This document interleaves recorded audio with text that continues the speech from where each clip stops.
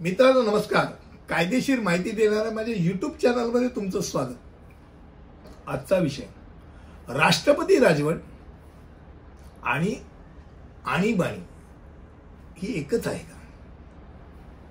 यामध्ये त्याचा अर्थ काय हे आपण आज जाणून घेऊया. पहिली गोष्ट राज्यात आणीबाणीचा अनेक वेळा प्रयोग करण्यात आलेला होता भारतामध्ये.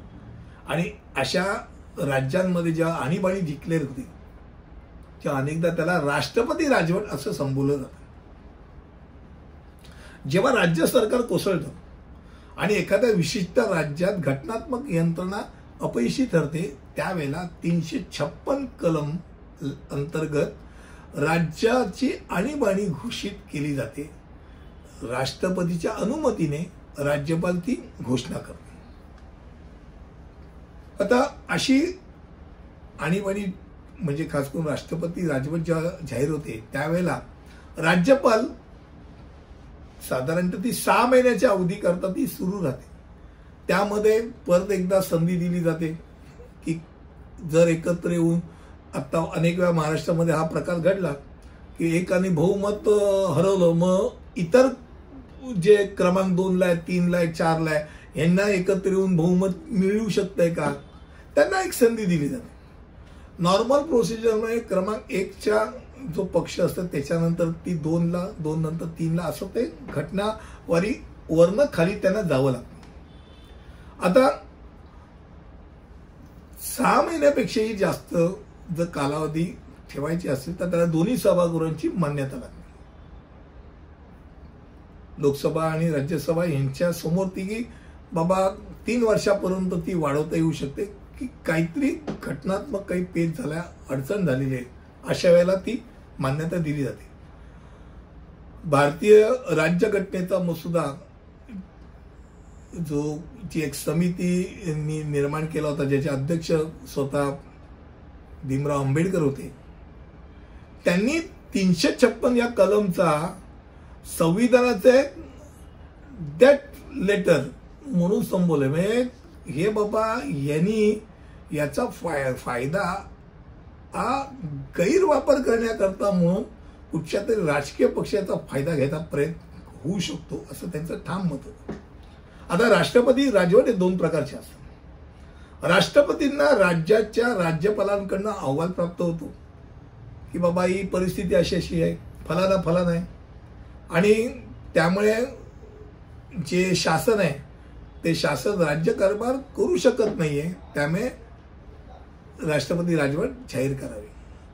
आणि कलम तीनशे पासष्टच्या अनुच्छेदाप्रमाणे कोणतेही राज्य संघ राज्याने दिलेले सर्व निर्देशांचं पालन करण्यात अयशस्वी ठरलं तर राष्ट्रपती राजवट लागू होते.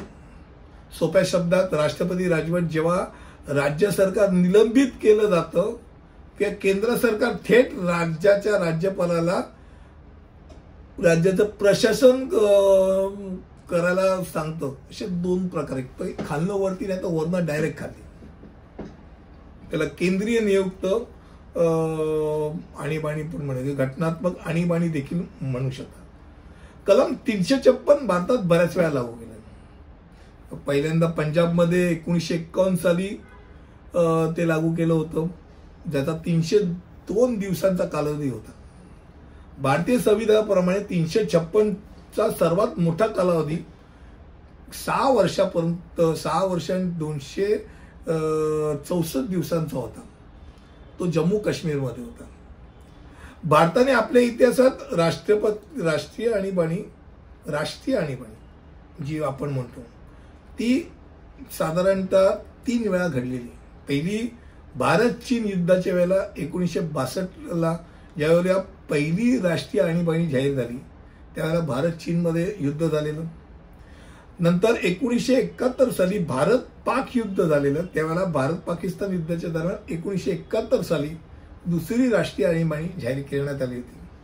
आणि अंतर्गत गोंधळामुळे इंटरनल अनरेस्ट म्हणा त्यामुळे एकोणीसशे पंच्याहत्तर ते एकोणीसशे सत्याहत्तर या दरम्यान तीन वर्षाकरता तिसरी आणि सर्वात वादग्रस्त अशी राष्ट्रीय आणीबाणी इंदिरा गांधी सरकारने जाहीर केली होती ज्यामध्ये सगळ्याच गोष्टींची मुस्कटदाबी करायचा प्रयत्न केला होता. ज्याला द इमर्जन्सी हा काळ म्हणून ओळखला जातो. तो त्यात स्वातंत्र्याचे सर्व प्रकारचे नागरी हक्काचे निलंबन पा- पाहिले गेले. प्रेसचं असेल सगळ्याच गोष्टीचं असेल. त्यामुळे भारतीय राज्यघटनेत तीनशे बावन्न ते तीनशे साठमध्ये नमूद विविध प्रकारच्या आणीबाणी आहेत. आर्थिक अस्थिरतेमुळे आतापर्यंत तरी आणीबाणी आणायची पाळी भारत सरकारवरती कधी आली नाही. पण एकूणच मी मगाशी म्हटल्याप्रमाणे राष्ट्रपती राजवट आणि राज राष्ट्रीय आणीबाणी राज्याची आणीबाणी कधी होती? या साधारणतः दोन्हीमधला फरक मी तुमच्यासमोर मांडला आणि कधी कधी लागू झाले ते सांगितले तुम्हाला नक्कीच आवडलं असेल पुढच्या व्हिडिओमध्ये असंच काहीतरी नवीन माहिती घेऊन येईन. तिथपर्यंत इथे थांबतो. धन्यवाद.